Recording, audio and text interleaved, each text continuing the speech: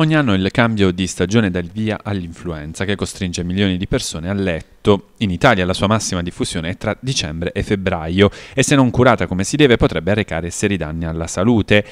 In età adulta l'influenza può essere molto fastidiosa, ma se gestita con ragionevolezza difficilmente comporta complicanze severe in persone con difese immunitarie adeguate e in un buono stato di salute generale. Dopo i 60-65 anni tuttavia la situazione cambia. Con l'avanzare dell'età l'organismo diventa progressivamente meno efficiente nel contrastare i virus influenzali, che hanno quindi maggiori possibilità di moltiplicarsi e fare danni. Il quadro clinico poi può essere ulteriormente peggiorato da infezioni respiratorie di origine batterica che si sviluppano più facilmente nell'anziano già indebolito.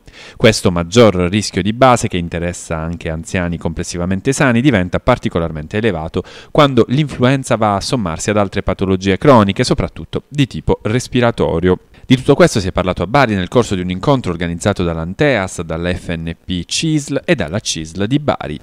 Io penso che come associazione di volontariato l'Anteas ha il compito di eh, tutelare la popolazione anziana.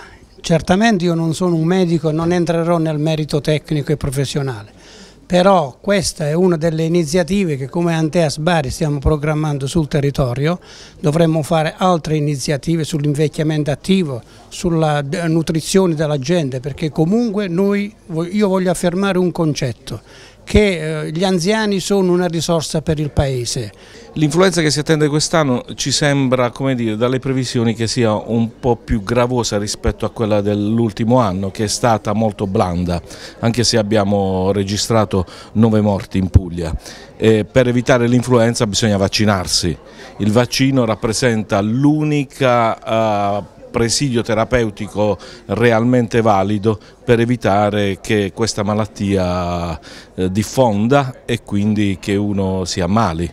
Bisogna vaccinarsi perché eh, il vaccino dà una immunità e purtroppo il virus eh, dell'influenza, che è un virus capriccioso, cambia ogni anno e quindi purtroppo ogni anno bisogna vaccinarsi. Le categorie a rischio sono tutti gli ultra 65 anni e più i, i malati cronici, però negli Stati Uniti eh, il vaccino è consigliato a tutti i soggetti che hanno più di sei mesi.